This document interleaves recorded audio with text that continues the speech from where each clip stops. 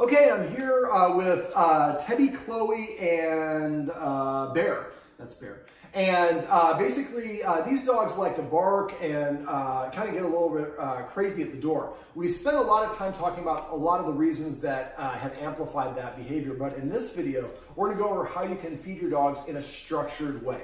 Now for dogs, eating is the most important activity they participate in. They, in the wild, dogs spend 90% of their time looking for hunting or foraging for food. And when they do find food, they eat in the order of their rank. The leaders eat first, and then the middle group, and then the followers. And so what I'm going to show you in this video, how you can feed your dogs in a structured way so that they see the humans acting like the leaders. Now, basically, we have uh, Teddy, who is the Frenchie, who is the oldest dog, who was here before the other dogs were here. He is the best behaved dog. He has the most, his best energy and the whole nine yards. And he really eats almost last. He always waits for the other dogs to come up and try to eat his food before he starts to eat it. Now, for dogs to be within seven feet of another dog who has a high value item like a bone or food is a way of challenging for that item. It is as inappropriate for a dog to be within seven feet of anyone has food or a high value item as it is for a human to be near another human when they're undressing if they're not their life partner. So for your dogs, we want to create the boundaries. And these dogs don't really have, especially the Malteses, don't really have practice at restraining themselves. So by adding a little bit of structure at mealtime, we can help demonstrate that the humans are the leaders because A, we're eating first, B, we're controlling the situation, and, uh, and that also helps the dog see that we're protecting each dog. The dogs are going to eat one at a time. Uh, but the human who is feeding them needs to eat first. So I have a little, because it's just me and, and the, uh, one of the guardians, I'm gonna have a little chewy. I'm gonna have this as a couple, uh, as a snack here in a second. The first thing I'm gonna do is I'm gonna put the food in the bowls. Once I put the food in the bowls, the dogs are not allowed to go near them. Now this is a more challenging scenario to do this. Normally I like to do it in a room where there's only one doorway so it's easy to defend it, but I'm pretty confident that I can do it. But if you guys have difficulty doing this later, you might want to move it in an area and just create a, a, circular, a singular entry point so it's easy for you to protect.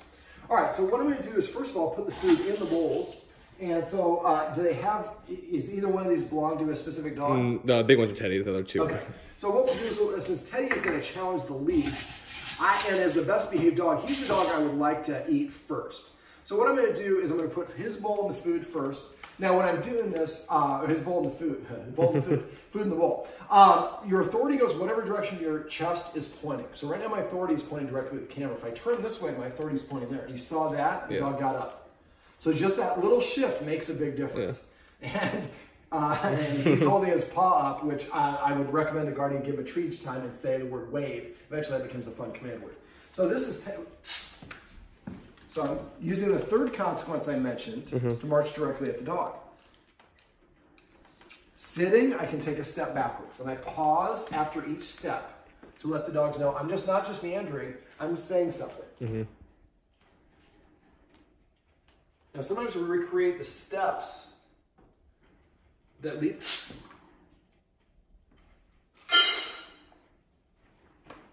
Now I'm keeping my authority pointed at the dog. We'll go into the second one.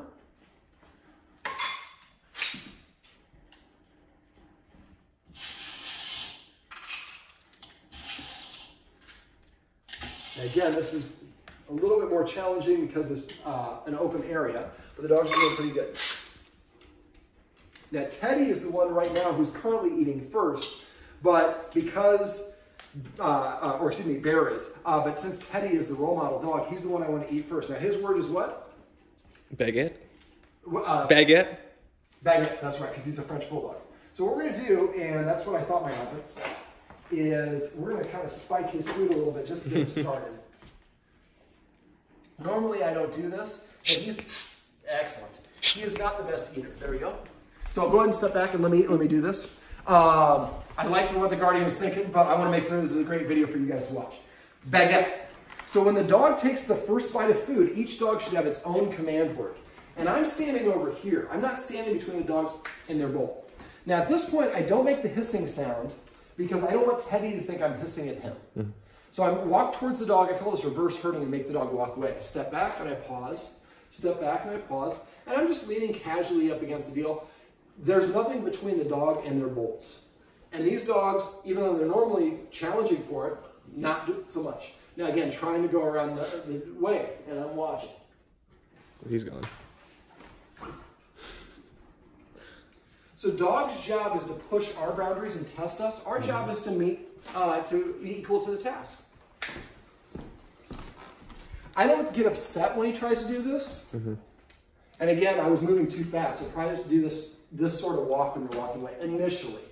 Eventually, you'll be able to sit down, put food in the bowls, and watch TV, and then just yell the words out. So we're using passive training. So when he took his first bite of food, we said the command word. Now, as soon as the dog walks more than seven feet away from the bowl, that's our way. That's our way of saying that they're done. So we take the empty bowl or the bowl, we dump the remaining food out of it, and we replace the empty bowl back in the container. And 99.9% of the time, the dog will do exactly what he's doing. He's going to lick the bowls. He can't eat their food. They can't eat his food, even though it's the same food. So now we're going to feed uh, the the bear dog, and his word is uh, he's a sushi. Sushi. Now, Chloe is this dog right here, and she's the instigator. She causes them to get all fired up. So she has the, the least, the behavior we like the least. So she's going to eat in the last position. So Bear is challenging. He doesn't know what, quite what to do. Even though it's his turn, I haven't given him permission to eat yet. Bear, here. Sit. And is this his or that? That's it. Um, that that, This that one? yeah. Bear. Sushi. Sushi.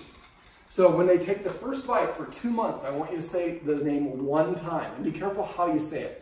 Uh, we just want to say it uniformly. Got now, when he's eating, I'm not allowing the other dogs to be within seven feet of him, and they're actually doing a great job of staying back by themselves. So now I'm going to move way over here. Uh, can you still see him in the shot too? It's more important that he's in the shot. I just don't want to be blocking between there. Now I'm not going to let him come over here or anybody else. So this gives me practice at being in charge of the food. He didn't really, didn't, I mean, he challenged a little bit, but in a very polite way. He just kind of tried to sneak his way polite. He tried to sneak. I have one dog say bark and yes, man. Yeah. He At least he's, he tried to sneak at least. Yes. So we say just once, and then uh, after a while, when we say sushi, to him that means food because every time I hear sushi, I have a bite of food in my mouth. When these two hear sushi, there's no food in their mouth. So we're also artificially, like I said earlier, giving Teddy more authority because he is the dog that we want to model the behavior off of. And he also gets beat up on by the other two dogs a little bit. He's bigger, so he just deals with it. I think he's just kind of letting him do it. And that might have actually been Teddy wanting to protect uh, Yeah. her food. This is what I mean about sometimes it gets a little bit more challenging. We have two Yeah. mul- multiple entry points. Teddy. And that's okay. And we don't want to tell him specifically to go anywhere. He just can't come within seven feet. So when he gets within seven feet, that's when I react and I march deliberately at him. Got I'm it. waiting. There he stopped. Step, step, pause. Chloe. Chloe, come. Now the one thing I'm realizing that I didn't do is I didn't eat something first. That's okay because the guardians can figure out how to do this. I can do this without needing to do that. But uh, for the uh, dogs, I want the uh, when they're practicing this, I want them to see uh, the guardians eating first. So you see, Teddy is being a little bit of a stinker here, and you see that Chloe has lower self-esteem. Chloe, Chloe. Chloe, come here. Come here, Chloe. Chloe. And her word is tuna. Now again, I don't want to hiss, but I'm not going to allow him to come over there. Oh, okay, yeah, okay. Because if I hiss, Yeah, yeah, especially yeah. sensitive she is, Yeah, yeah. she's going to think we're talking about Got it. So at first, for a couple of days, this is going to be a little bit of orchestration and management. After a couple of days, the dogs will start sitting and laying down beyond the boundary. Mm-hmm. When I do this, I have four dogs. I'm in my office on the other side of the house. And I'm just yelling the word out. One dog, I give the first dog permission. He comes to my office when he gets done. I yell the second dog's word, grub, and she goes and eats. She gets done. She comes to my office. I yell the third dog's word to eat. Sometimes he goes out the dog door and suns himself. So I don't get the visual indicator he's done. There have been times where I go in the kitchen two hours later and my fourth dog is sitting there 10 feet away from his bowl, hasn't eaten any food, waiting for permission. Yeah. These dogs need to develop self control. Yeah. This is an activity that we're going to do over and over and over again every day, twice a day. So after a while, the dogs will be on autopilot and the humans won't even think about it, but every time we feed their dog, it helps the dogs practice self-control, practice the hierarchy that we're looking for, rewarding the behavior we like, and helping the dogs see that we're being even-handed and controlling it for all of them. Yeah. Well, this is Chloe, and uh, the other two dogs are uh, out of the shot. But uh, these are some tips and tricks you can use if you have dogs that don't listen to you, so you can add structure to mealtime and feed the dogs one at a time.